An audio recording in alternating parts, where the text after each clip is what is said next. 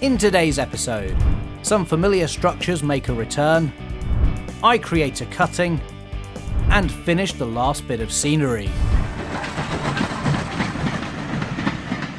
Hello everyone, welcome back to my channel, That Model Railway Guy, for another episode from the Modular Model Railway. Today's episode is proudly sponsored by both derails and model railway scenes. Great to have them on board, and I'll be talking more about them later on. Over the last few episodes, I've been upgrading and rebuilding parts of the layout to get it ready for its first exhibition appearance at the Spa Valley Railway. At the time of filming, the show is now just a week away, and there's still one final corner module that needs to be built, so this is really going to have to be a quick turnaround. It's also a pretty important module too, because this will form the scenic break where trains disappear into the fiddle yard. Now, on the other side of the layout, I have the railway disappearing into a tunnel, which works really well, but I don't want to do the same on this side. So instead, I've come up with a plan to create a cutting where the landscape rises up around the railway, hiding the trains from view before they finally disappear under a road bridge, through the back scene and into the fiddle yard. Sounds simple in principle, but Let's see what it's like in reality and get building. So here you can see the two main set pieces that I'll be building this entire module around. For those of you who watch my laser cutting videos, you might recognise the cottage I designed from scratch and then made, and I'm going to have this sitting on top of the cutting. And then going over the track will be this road bridge, which will act as a scenic break as the line heads into the fiddle yard. As you can see the track has already been laid and everything is wired up too so we can jump straight in with all the scenics. I've got some foam blocks left over from packaging which I'll use up to build the height either side of the bridge.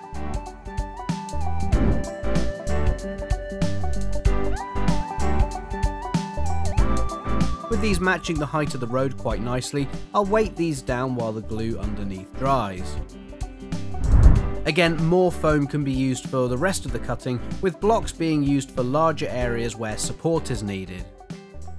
Meanwhile, sheets cut to the correct profile can also be used to roughly mark out how the land needs to rise and fall across the module.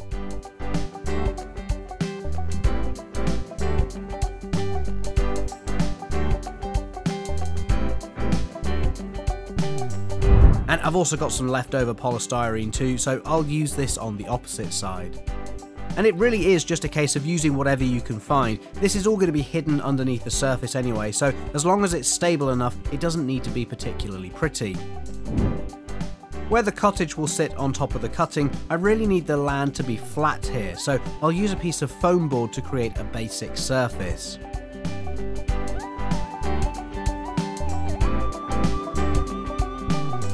Chicken wire can then be laid on the areas around this where the landscape can be a bit more random.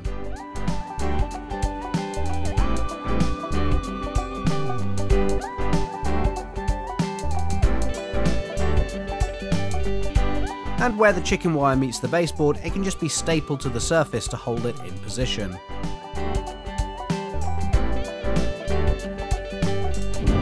Also, it's worth cutting away any harsh corners that poke through the holes. This way you won't have a weird pointy bump in your landscape when the top surface goes on. The chicken wire is then laid around the rest of the module to create a nice general surface that undulates naturally around the railway.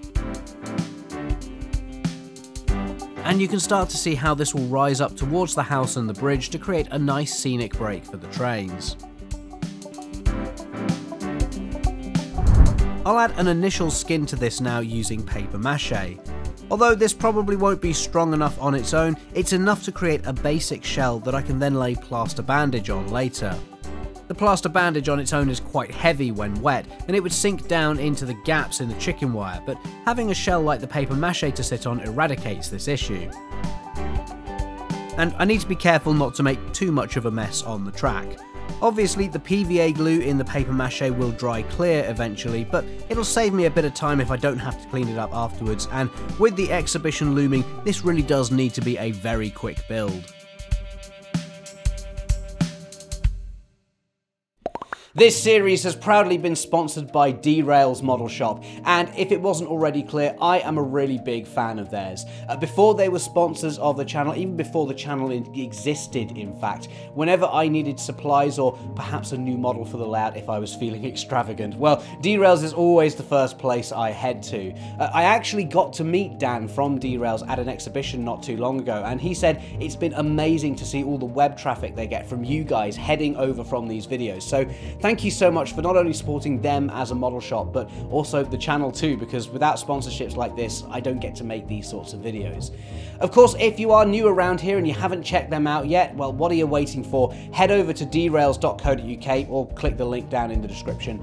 I promise you won't regret it. They have loads of stuff on their website for all scales and gauges, so yeah, thank you so much to Derails for sponsoring this video. The paper mache has dried overnight, so I now have an idea of what the landscape on this module will look like.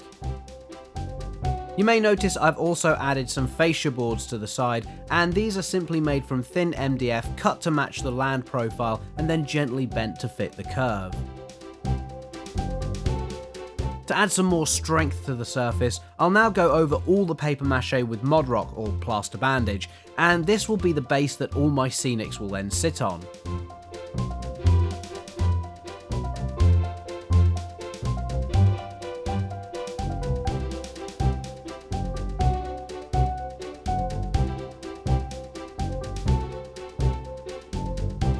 And I can also lay the plaster bandage right on the edge of the fascia, which then covers up that gap before the paper mache starts. The Mod Roc dries really quickly, so I can swiftly move on to painting the whole surface brown. For those wondering, I just use very cheap acrylics for this. Usually it's a burnt umber colour with a small amount of black mixed in just to darken it down to a more dirt mud colour. You can also see some of the tree sockets I've installed too. These are for the Woodland Scenics armature so that I can add the trees on later.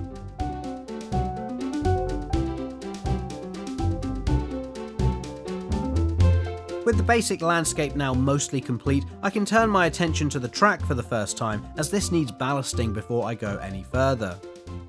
Of course, you can really ballast track at any time, but I find that if I leave it any later than this, it starts to get a bit more tricky as you have to be careful of other scenics that you may have already added.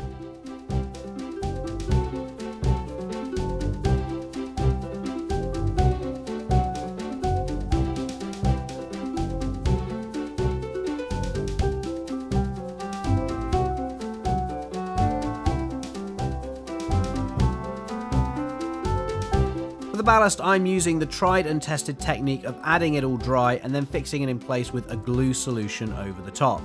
That is a mix of 50% water and 50% PVA glue, and then when you've got all that nice and mixed up, you just add a tiny drop of washing up liquid.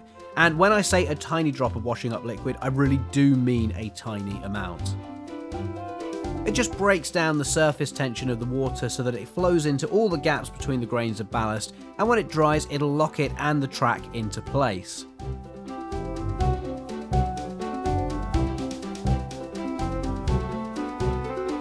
As you can see, getting access under the bridge was a little bit tricky. Luckily, the syringe was long enough to get underneath, but it was hard to see what I was doing. Speaking of the bridge, for the road that runs over the railway, I'll be using a very similar technique. First I'll add the surface texture itself, and this is the Geoscenics Road Powder from their Pothole Road Kit.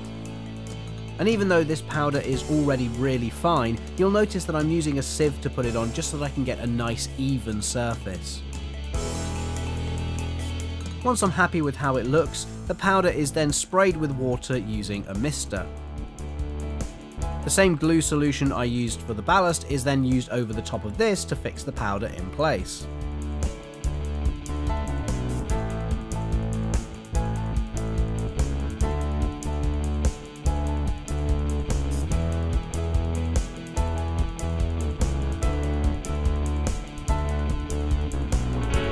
For the area around where the cottage will sit, I'm actually going to use the sort of sand coloured powder that also is provided in the Geoscenics kit. And my thinking here is that this isn't tarmac like the road surface, it's more like crushed gravel or fine dust that you sometimes get in driveways. Again, once it's in position, I mist it with water and the glue solution is added.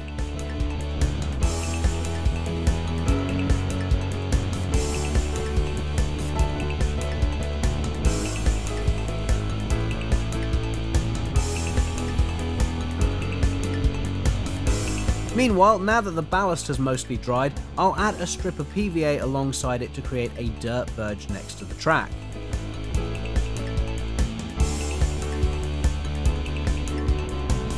And obviously this is neat PVA, it isn't the watery solution I've been using for everything else.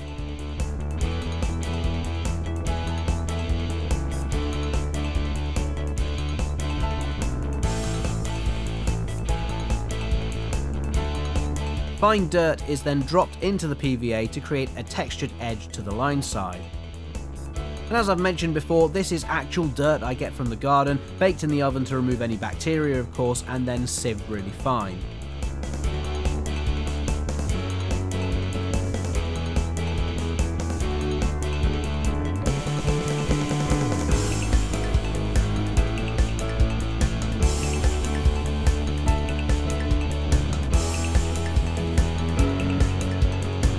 With the base held down by the PVA, I'll then go over the top of this with the glue solution too, just as a belt and braces approach.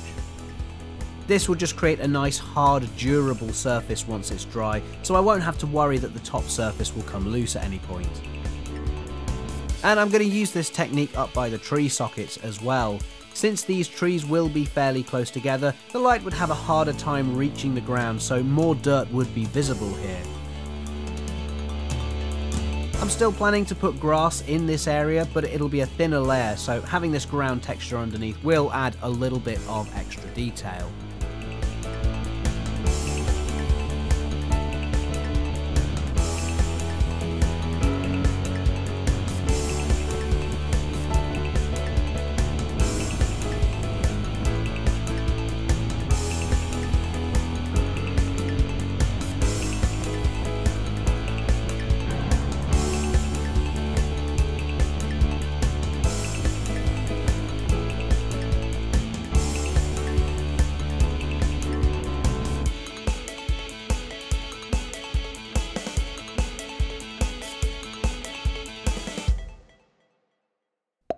Like I said at the start of this video, the Layout's very first exhibition is coming up really soon, and actually by the time you watch this, it will have already happened.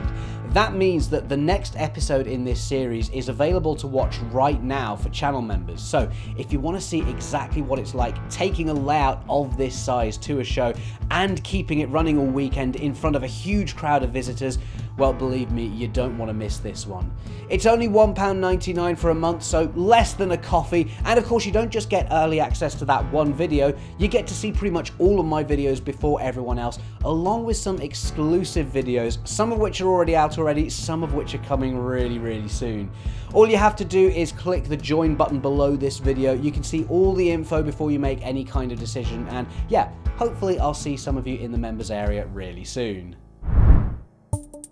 As I'm sure you all know by now, I really like to add static grass to my layouts, but the side of this cutting is quite steep and I'm not sure if the grass will stick here or if it does, if it'll even look right.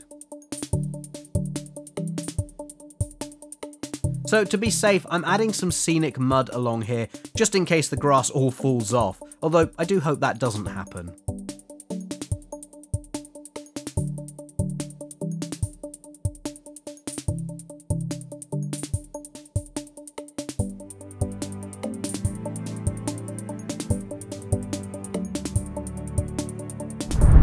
Once again, I'm using my flexible dry stone walls on this module, initially up by the road to create a boundary on either side of the bridge.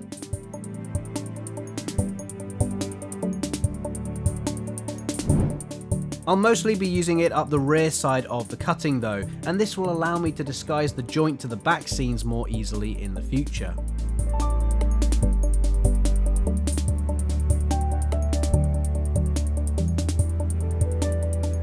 Can see how easily I create big long stretches of this, as the joints are hidden quite nicely when the individual sections are joined together.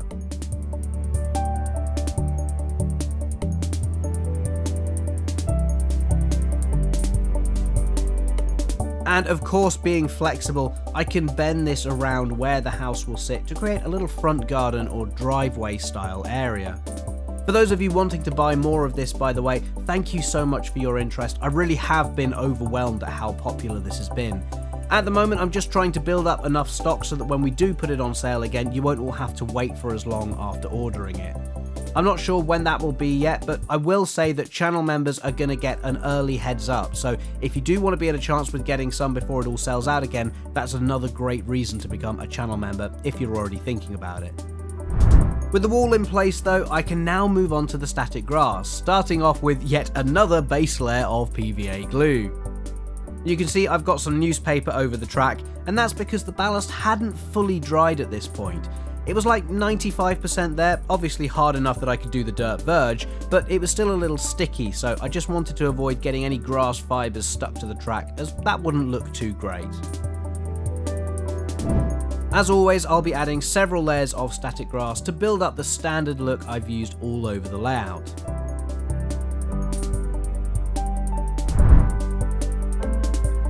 This is a 2mm summer grass I'm adding here, and as usual there are links in the description to everything I'm using in this video for those of you who are also needing supplies for your own layout. Obviously there's quite a lot of ground to cover on this module, so getting this initial base layer on does take a while.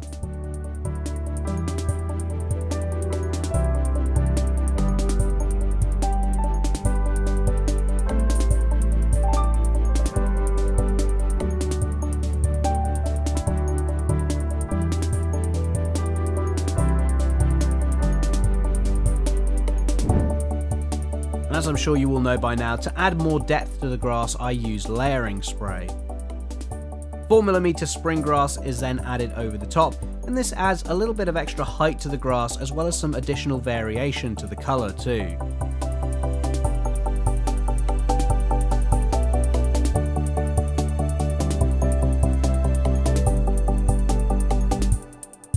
And this is really where you can see the static effect start to take place with the fibres standing up on end. And overall, having a slightly longer grass makes these areas feel a bit more wild. After all, we don't want them to look like a perfectly mowed football pitch.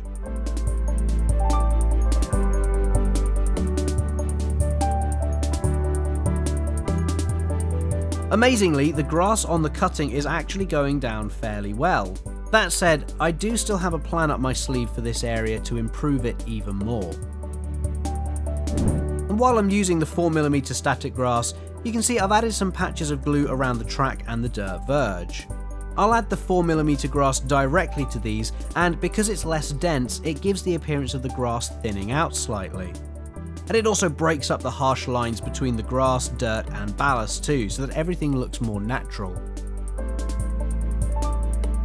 The excess can then be hoovered up afterwards and this can be reused on other parts of the layout. And already you can see how effective these little patches of grass will be once the glue has fully dried. The same is done around the tree sockets. I'm going for a more consistent look here, but again, by going straight in with the 4mm fibres, it'll give this a less dense look, which was why it was still important to put the soil down first.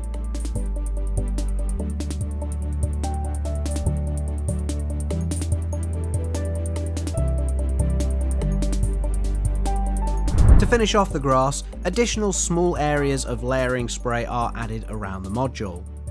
This is to create patches of dried grass, again for more texture and colour variation. Personally, I really like this look. Given that railways are usually modelled in summer, having some dead grass that has dried out in the sun can add a lot of realism to a scene.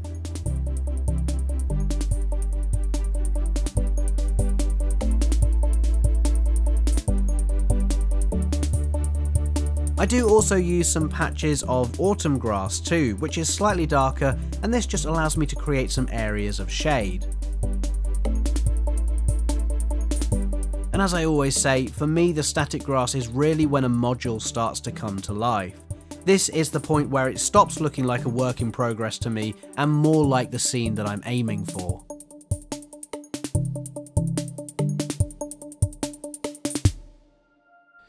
Our other sponsor today is Model Railway Scenes, a really great company who have a huge range of 3D printed products that are perfect for any model railway. I've been using these guys and their 3D printed range all over the layout and even now I'm still amazed by the quality of their prints. I mean, just look at this telephone box here hiding behind the station. Their prices are already really reasonable in my opinion, but Model Railway Scenes have gone one better by offering you guys a 25% discount on all of their 3D printed products. Just use the code TMRG2023. Yes, I know it's now 2024, but I believe that code is still valid, so you don't have to worry about that. Just use that code when you check out on their website, modelrailwayscenes.com, or there's a handy link in the description. And yeah, thank you so much to Model Railway Scenes for sponsoring this series. With all the static grass now in place, I can start to add the fencing up the side of the cutting.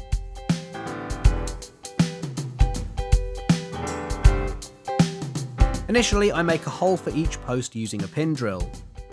And this is fairly easy to do since the surface is just plaster bandage. Each post is then placed into a hole with PVA around the base to hold it in position.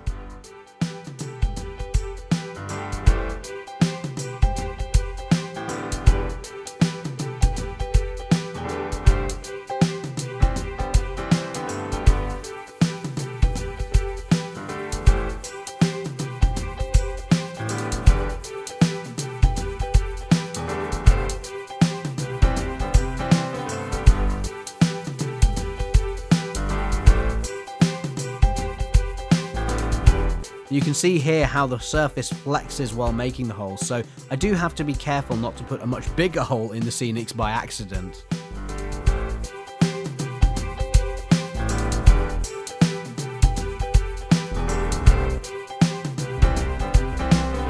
Once all the posts are installed, next up is adding the wire. A fine pair of tweezers are absolutely vital for this job as the wire is threaded through the small holes in each post. As I've mentioned before, personally I prefer to start at the bottom and work my way up to the top hole.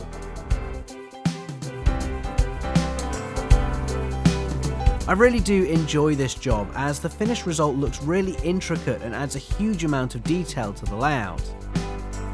In reality though, it's not actually as hard as it looks to do, and certainly once you've got a rhythm down, you can get through an entire stretch of this fairly quickly.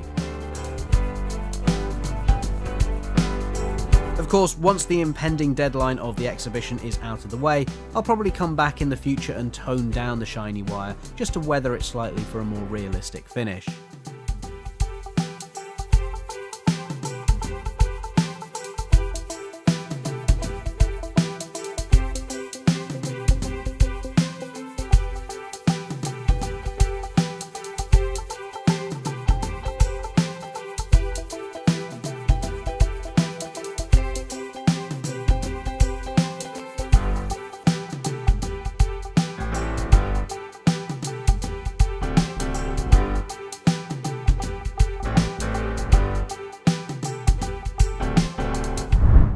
Now as I said earlier, I've got one trick left over to create some more detail on the side of the cutting.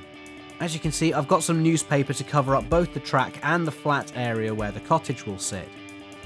I'm then going to spray some yacht varnish over the grass on the side of the cutting. And now it's time to add my homemade polyfibre undergrowth to the area to create some extra vegetation beside the running line and this has been slightly adapted from my first attempts that I used in the previous episode on the embankment module. For starters, the sections of polyfibre I'm using are much larger, so the undergrowth has a much bigger spread. The base has also been painted a dark green this time instead of brown, which I think works much better, and I've also used a variety of different scatters over the top for some extra variation. This definitely looks a lot better in my opinion, and I'm actually excited to use this technique on more layouts in the future.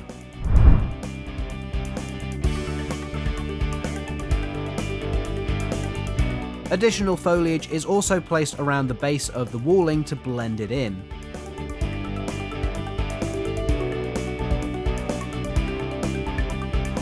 As always, the aim is to make it look like these things have been around for a while, rather than the whole layout looking brand new and pristine.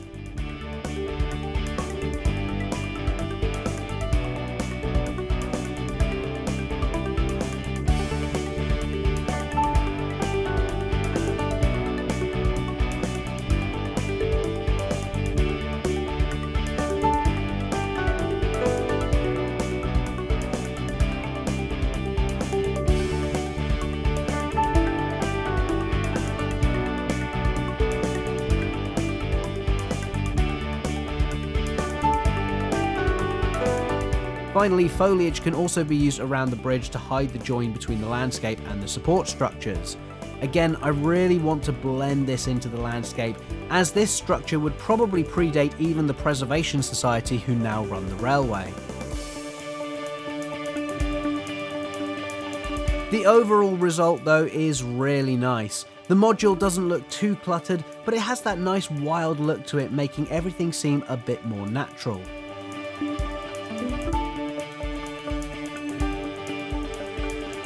The final step is to put the cottage in position to really finish off the scene. I'll place an Oxford diecast car in the driveway too. Again, this is a modern day car which just reaffirms to anyone viewing the layout that it's a heritage railway set in the present day. And one last finishing touch is to install the trees into their sockets. Again, this creates a little bit of extra scenery for the trains to disappear behind as they head under the bridge and into the fiddle yard. And speaking of trains, it seems like I finished just in time. I have to admit, I would definitely like to live in that house up on the hill there. Hopefully, it's an enthusiast or maybe even a volunteer at the railway who does live there.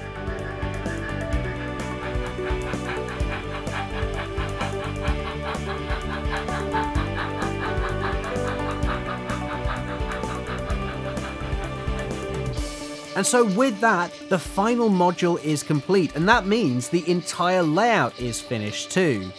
Okay, yes, there are still lots of little things that need to be done before the exhibition, but all 10 modules now have scenery on them ready to be presented to the public for the first time. I'll be covering all those little jobs that need to be done before the show in the next episode, as well as taking you along to the exhibition itself too. Don't forget, if you're a channel member, you can watch that video right now, and here's a look at what's coming up. I add the finishing touches, the layout is packed up for the exhibition, and Pitley Steam Railway gets its first visitor.